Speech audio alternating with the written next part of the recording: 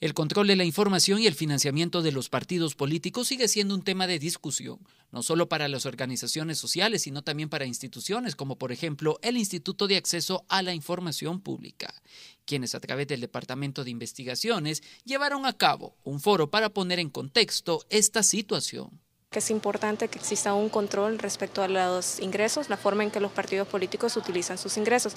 En esta ocasión, con este monitoreo de campaña, pues proporcionamos información a la ciudadanía, a la academia, sobre cuál es el uso que los partidos políticos eh, hacen a los fondos que estos reciben. Recordemos que más o menos eh, más del 40% de los fondos que estos reciben son fondos públicos, son fondos que por tanto deben de ser fiscalizados y pues la ciudadanía tiene que estar atenta a ellos. El financiamiento de campañas facilita en buena medida eh, la política para los grupos que tienen mayor capacidad de financiamiento, las grandes corporaciones o, eh, como ya se ha dado en el caso de El Salvador, mecanismos ilícitos de financiamiento de campaña, donaciones ilegales y también eh, uso de la corrupción para financiar proyectos políticos.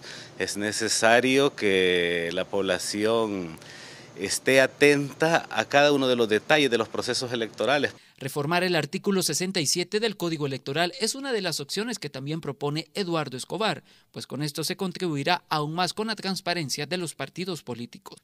El Tribunal Supremo Electoral no cuenta con una instancia eh, que fiscalice a los partidos. Entonces, ese es uno de los temas que está pendiente, la fiscalización de los partidos. Eh, el otro tema es eh, las sanciones. Todavía el sistema tiene sanciones muy bajas que no son disuasivos para eh, incumplir la ley. O sea, y en esa medida tenemos posibilidades de dinero ilegal, dinero prohibido, financiando campañas. Esta propuesta ha sido presentada en la Asamblea Legislativa. Solo quedará esperar qué dicen los diputados. Este es un informe para Noticiero Hechos de Ernesto Cornejo.